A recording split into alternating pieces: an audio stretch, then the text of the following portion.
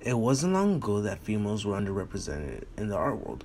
Males dominated the art industry during the 20th century. For my final project, we will see how females impacted abstract expressionism during the 40s and 50s, which was very popularized in New York and San Francisco during this era. Many of the most popular abstract expressionism paintings are made by males. Today we will discuss and learn about the abstract expressionism paintings made by females and how they contributed into the era.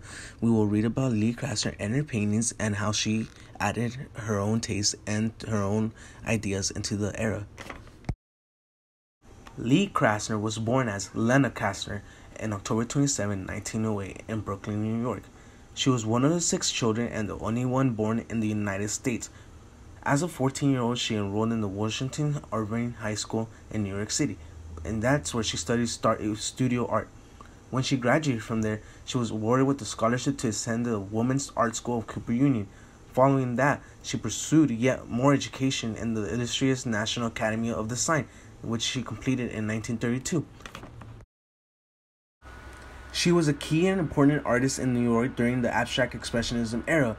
Her own career was compromised by her role as a supporter wife to Jackson Pollock, another artist who was very popular during the times. She was really involved in synthesis of abstract form and psychological content. Krasner was a key and transitional figure within abstraction, who connected early 20th century art with the new ideas of post-war World War II America. She had such great talent and was advanced in her art skills. She had intensive training in art, which enabled her to revise her style and technique multiple times over the, her career, which allowed her to distance herself from artists such like Mark Rothko and Barney Newman, whose works was found too rigid and repetitive. Krasner thought of her paintings to be as an autobiography, as she quoted herself saying, I think my paintings are as autobiographical if anyone could take the trouble to read it. She also had trouble titling her paintings. She had the help of authors' friends like Richard Howard and Stanford Friedman. She would even use phrases from her house cleaner's small daughter as her titles, such as Flowering Limb and Happy Lady. As quoting from a book, her marriage to Pollock in 1945 created Mrs. Jackson Pollock, an identity that legally and practically all but replaced the former Lee Krasner for a good many years. Sadly, because her artwork was overshadowed by her husband's, she didn't get as much publicity in the art media, but she was one of the many abstract expressionists who embraced the self revelatory and liberatory forms of non objective art.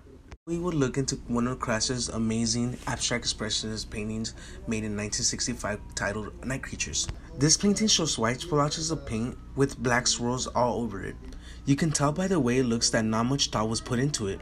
The painting seems very catastrophic and out of control. When you look into the painting, you can see as if faces and eyes were staring back at you, hence the title Night Creatures. This painting looks very nightmarish and claustrophobic, as you can see that the painting is filled up with these black swirls. You can see that this painting has so much little detail, but so much meaning to it as well. As you can see here, she only used two certain colors, black and white.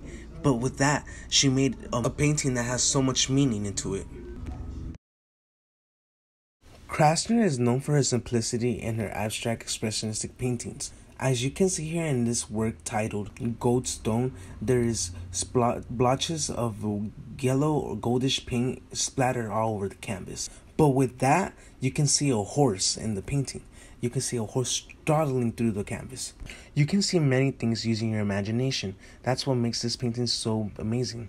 Like, for instance, below the horse, what I see is a female ballerina dancer dancing, and I also see fishes below her. It's so astonishing seeing that how her artwork could create many ideas. You can see in both these paintings there's simplicity, but with that simplicity comes many ideas put into it. Krasner obviously had skill and talent and knew what she was doing. It seems that she conjoined abstract expressionism with minimalism, and it is very pleasing to the eye to look at with its simple artworks.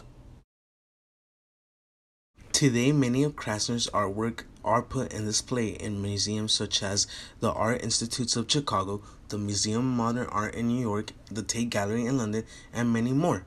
Krasner passed away on June 19, 1984 in New York City. Her artwork would start to be recognized after her death. Lee Krasner was considered the first woman of what Barbara Rose called the heroic first generation of abstract expressionists, and one of the few who worked on abstract expressionism before World War II. There is no doubt that she had many great creations. She was very skilled in her artwork and was a very talented artist. As you can see from these paintings, females did have an impact in the art industry during abstract expressionism. Sadly, many of these other female artists were unheard of because of how society viewed females in the art industry.